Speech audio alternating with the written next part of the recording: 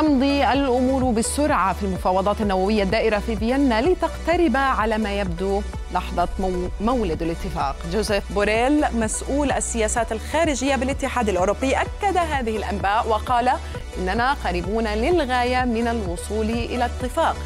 بينما أعلنت روسيا أنها تلقت ضمانات مكتوبة بأنها ستكون قادرة على القيام بعملها كطرف في الاتفاق رغم العقوبات الغربية.